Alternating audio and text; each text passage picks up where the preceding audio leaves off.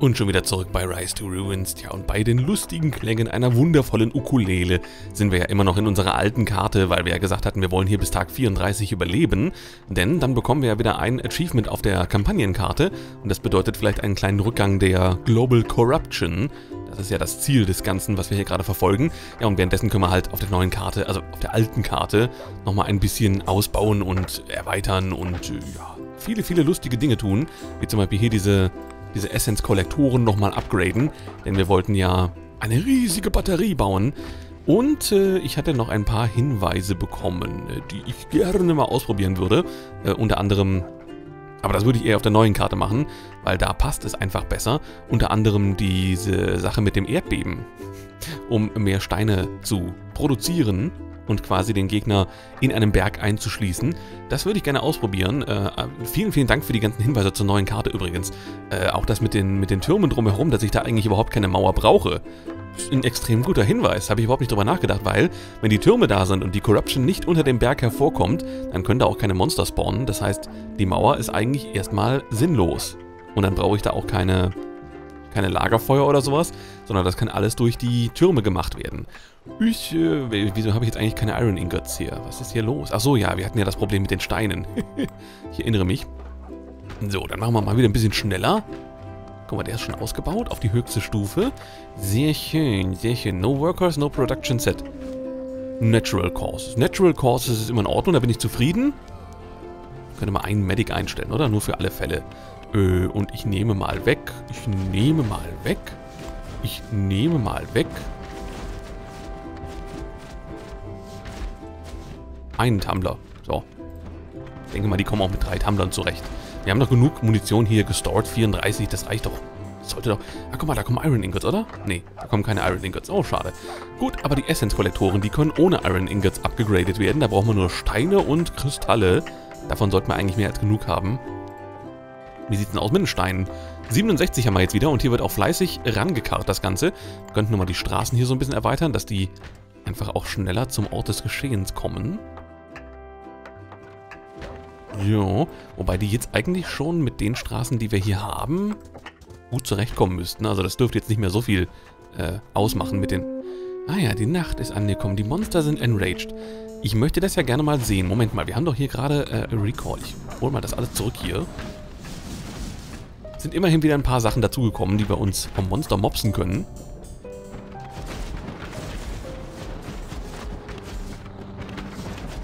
Ja, also, wir müssen auch noch die ganzen Türme hier an der Außenseite auf magische Angriffe optimieren. Aber ich habe jetzt so das Gefühl... Ja, guck mal, da kommen sie halt noch direkt durch. Und hier müssen sie aber erstmal hier lang laufen jetzt. Dieser Turm hier wird wahrscheinlich in Kürze dran glauben müssen. Da wird kein Weg dran vorbeiführen, leider. Oh, was mir da gerade auffällt. Warte mal. Dann könnte ich eigentlich hier noch zubauen, oder? Der Turm, hat der noch genug Reichweite? Oder nee, komm, wir lassen es sein. Komm, wir lassen es sein. Dass der hier nicht komplett zugebaut wird, dass er nicht äh, total sinnlos da unten in der Ecke rumsteht. Theoretisch könnten wir ihn zubauen. Äh, wir könnten diese Verteidigungslinie hier unten natürlich wegnehmen. Und stattdessen hier oben nochmal ein paar mehr Türme bauen. Das wäre auch eine Möglichkeit. Aber... Oder wir... Oder wir erweitern das Mauerwerk ein Stück weit nach unten. Hm. Hm. Wäre natürlich auch eine Möglichkeit. Has been born. Ach, guck mal. Sind gleich Zwillinge geworden. Ein Junge und ein Mädchen. Oh, oh, oh, oh, oh. Was äh, geht hier ab? Da sind Skelette durchgekommen. äh, äh. An elder. Oh mein Gott, jetzt werden die alle alt und sterben. Was ist denn hier los? Können die mal bitte neue Leute bohren? Äh, bornen? Äh, wie heißt das auf Deutsch? Äh, gebären? So, No Production Set. Äh, ja, maintaine halt mal 20 und hiervon auch 20. Ist mir nur egal. So, unsere Golems sind fleißig am Laufen hier, denn die haben mittlerweile auch gemerkt, dass hier ein bisschen was los ist. Wow, guck mal, was da auf einmal für, für Monstermassen da rauskommen.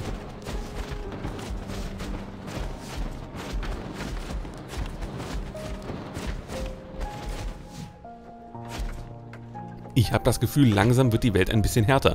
Bis Tag 34 müssen wir hier überleben, dann haben wir das Achievement geschafft. Das würde ich gerne noch mitnehmen und dann können wir wieder zurück auf die neue Karte. Können uns da noch ein bisschen ausbreiten. Has grown up. Ja, das ist doch großartig. Da können wir direkt wieder einen Organizer mehr einstellen.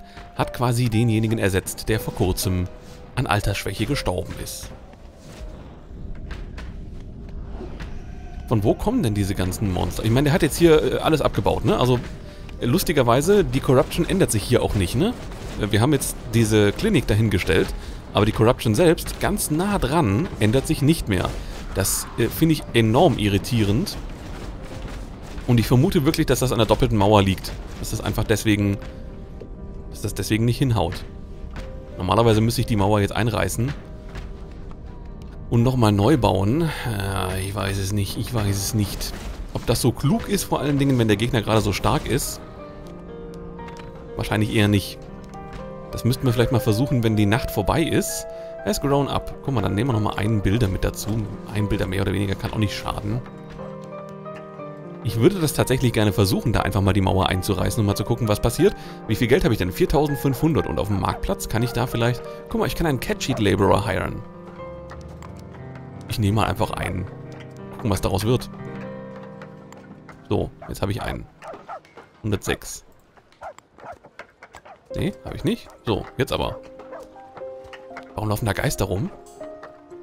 Äh, äh, Moment mal. Es ist doch gar kein Vollmond. Warum liegt da jetzt ein Geist rum?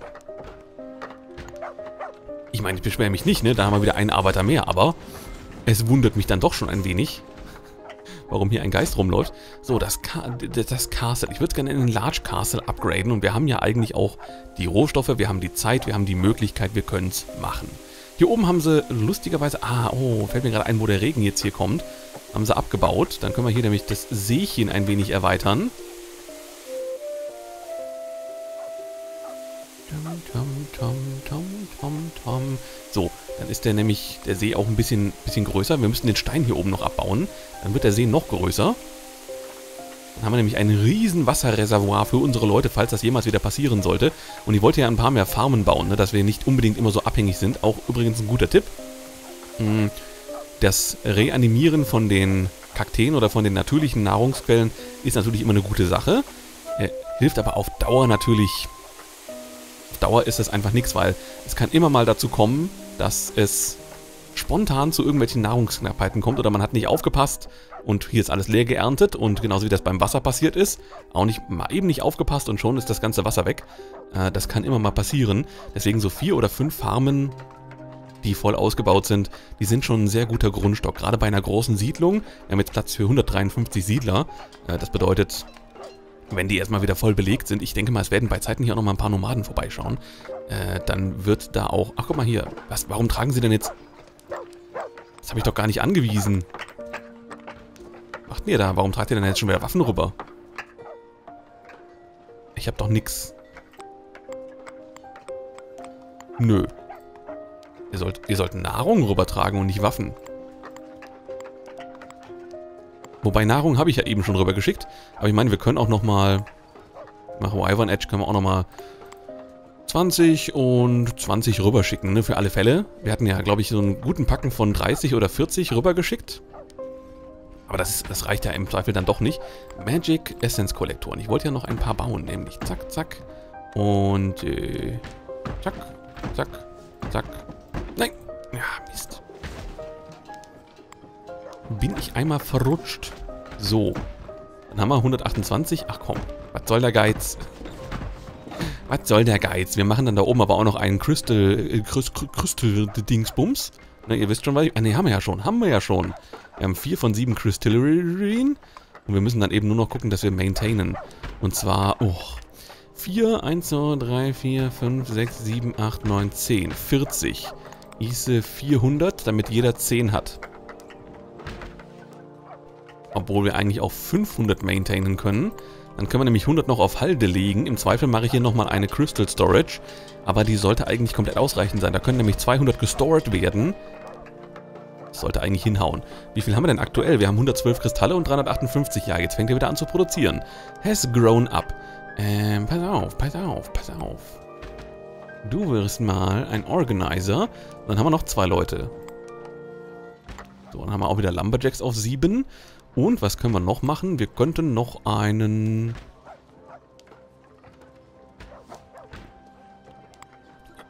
Organizer. Ich weiß es gerade nicht. Ich weiß es doch auch nicht. Wir haben ein Problem mit Arbeitslosigkeit in unserer Siedlung. Oh, sieh mal einer an. Eine Truhe. Na gut. Ja, mittlerweile ist das natürlich extrem weit entfernt hier, dieser Berg von unserer, von unserer Stone Cuttery. Ist ja kein Wunder, dass das ein bisschen länger dauert, bis dann da auch mal was ankommt. Oh, guck mal, ist fast fertig. Ist fast fertig. Ich freue mich so. Und die Ancillaries kann man nicht mehr weiter upgraden. Die sind schon auf höchster Stufe.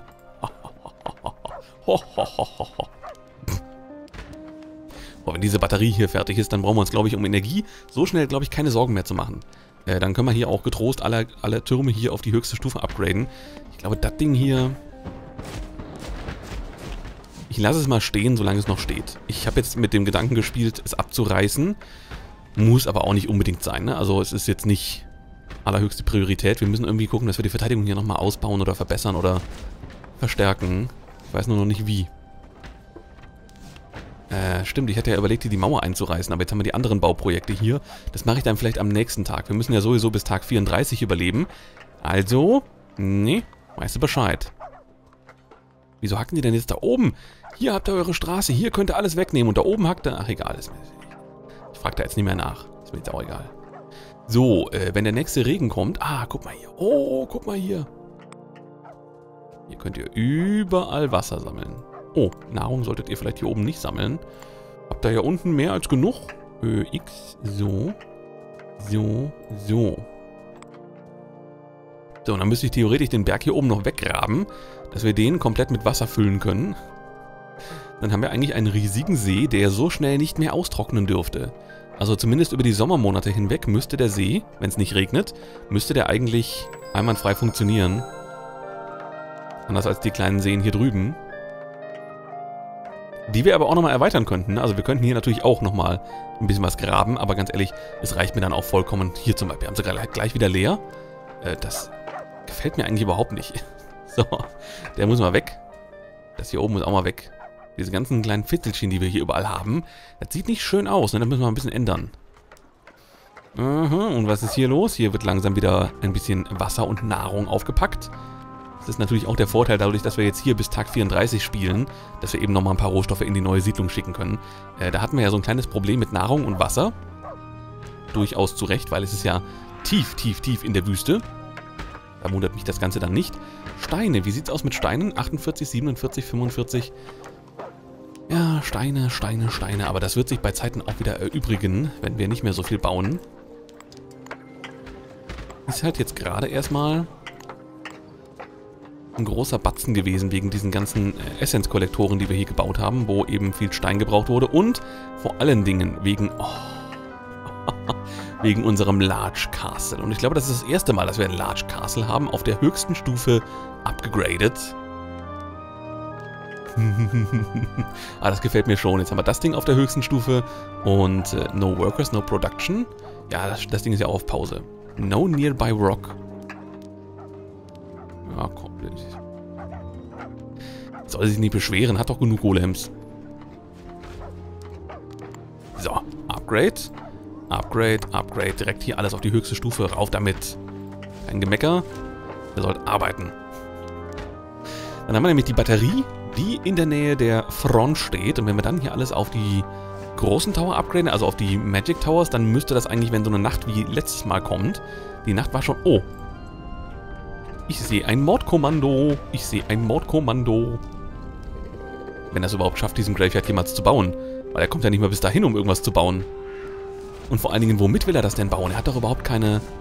Oh, Nomads, sehr gut. Er hat doch überhaupt keine Bauarbeiter und keine Rohstoffe mehr hier. Muss der Gegner nicht auch mit Rohstoffen diese Dinger bauen? Da, die Crystals bringt er dahin. Naja, er braucht auch Rohstoffe, genauso wie wir. Aber er hat natürlich keine. Das ist sein Problem. Ja, Galileo Galilei ist angekommen. Der möchte gerne äh, ein bisschen philosophieren über die Welt. Die scheint mir aktuell ziemlich flach zu sein. Das war ein flacher Witz, ich weiß.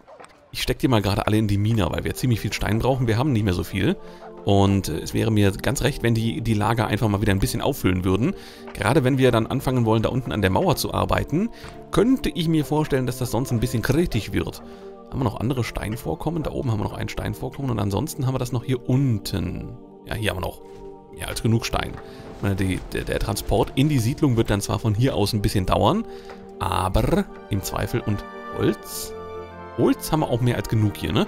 Wenn wir mal auf die Karte gucken. Ja, klar. Hier oben auch noch jede Menge. Also kein Grund, Trübsal zu blasen. Wo kommt eigentlich dieses Sprichwort her? Trübsal blasen. Ich habe in meinem Leben, glaube ich, noch niemals herausgefunden, wie man Trübsal bläst. Was muss man denn da machen? Kennt das einer von euch? Äh, wenn, wenn ihr das kennt. Wie macht man das? Wie kann man Trübsal blasen? Nö. Äh, ja gut, ich, ich lasse das Thema mal wieder außen vor. Ich mache das hier auch mal gerade weg. Das hier nervt mich gerade auch so ein bisschen. Diese ganzen Fitzeldinger, die wir drumherum stehen haben. Das hier unten kann auch mal weg. Äh, und, und, eigentlich müsste ich... Die Kristalle hier wuchern auch wieder wie verrückt. Sind die hier eigentlich schon? Ja, ja, die sind auf höchster Stufe abgegradet. Theoretisch könnte ich auch das Wasser hier nochmal weghauen. Dass wir hier einfach eine freie Fläche haben. Nö, wenn du weißt, was ich meine. Genauso wie hier. Und da oben ist ja auch noch so ein Zipfelchen hier, so ein Steinchen. Und die Kristalle, da muss ich mal gucken, dass ich die vielleicht mal wieder ein bisschen eindämme, weil da sind die aktuell ziemlich... Ja, die nehmen schon viel Platz in Anspruch. So, wie sieht's hier aus? Können wir ein bisschen schneller arbeiten? Achso, die brauchen Steine, Cutstones vor allen Dingen. Ja, das verstehe ich natürlich. Und vor allen Dingen, ne, wir haben nicht so viele... Wir haben jetzt wieder elf Miner. Wir könnten noch mal ein zweites von diesen Dingern bauen. Wie viel von den 457 von den Krylithium-Kristallen haben wir mittlerweile? Das heißt, das ist eine super Produktion, die wir hier abliefern. Da freue ich mich sehr. Dann könnten wir theoretisch noch mal eine Farm bauen, oder? Wir haben ja schon die Kristalle eingedämmt. Ja, komm. Wenn wir schon mal dabei sind. Obwohl, nee. Wir lassen die jetzt erstmal hier unten die Sachen fertig bauen, bevor ich noch mehr Steine verschwende. Ja, die brauchen alle nur noch Cutstones. Wie viele Cutstone-Dinger, Dinger, Typen haben wir denn? Toolsmiths, Watermasters, Fletchers, Farmers, Crystal Harvesters, Carpenters? Äh, wo ist er denn? Stonecutter, 4. Ja, können halt nicht so schnell nacharbeiten, ne?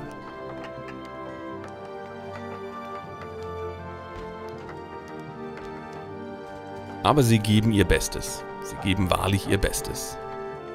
Sie könnten auch mal ein bisschen mehr maintainen, vielleicht 100 Mal. 128. Aber wisst ihr was, ihr könnt auch mal 150 maintainen, dass wir so ein bisschen... Wir haben ja, glaube ich, auch äh, Rohstofflager. Das habe ich ja gar nicht mehr bedacht. äh, nee, haben wir nicht. Natural Causes. Doch, haben wir. Ich Idiot. Die können eigentlich schon viel mehr maintainen. Maintaint mal bitte 300. Dann kommen 150 nämlich noch hier in die, in die Rock Storage und ihr könnt auch 150 maintainen. Dann kommen 100 noch dazu und dann sollte die Rock Storage Rock Storage sollte dann auch voll sein. Äh, das gleiche machen wir mit den Boards. Da kann er auch mal 100 von maintainen. Und unser... Der hält mal 150 auf Vorrat. Für alle Fälle. Und im Zweifel erweitern wir dann einfach nochmal die Storages. Können wir ja im Zweifel auch noch eine dazu bauen, jeweils von Holz und Stein, weil das ja die Ressourcen sind. Warum hier schon wieder Bögen, Helme? Ich verstehe das nicht. Habe ich niemals angeordnet. Machen sie jetzt einfach. Ist jetzt auch Wumpe. So. Wege nochmal erweitern. Immer schön nacharbeiten, je nachdem wie tief die in den Berg reinkommen, desto weiter muss auch der Weg dann mitgebaut werden, damit die einfach schneller hinkommen. Hier ist alles schon abgegrast, der gesamte Berg weggehauen. Uiuiui, okay, wir können hier wieder upgraden, sehr schön. Und wir haben Tag 32. Zwei Tage müssen wir noch überleben. Ich denke mal, das kriegen wir hin. So, so, so, so, so und so. Und natürlich so. Nicht zu vergessen, die Nacht ist eingetroffen. Oh, guck mal, wie die Steine hingebracht werden direkt. So, aber ich denke mal... Achso, der Friedhof hat sich nicht, äh, der hat sich nicht etablieren können. Der hat leider nicht überlebt. Da kommen die Geister und werden natürlich direkt um die Ecke gehen. Ja, ja, wir werden das noch ändern. Äh, mein Versuch wäre dann, diese Mauer einfach ein Stück nach vorne zu setzen. Und... Naja, das ändert ja nichts an der Tatsache, dass die Geister sofort beim ersten Turm sind. Hm. Hm. Hm, ich bin unschlüssig. Wir gucken mal, wie wir es machen. Vielleicht kann man da noch irgendwas draus machen, aber ich habe das Gefühl, auch jetzt in der Nacht, es kommen schon deutlich mehr Monster, ne?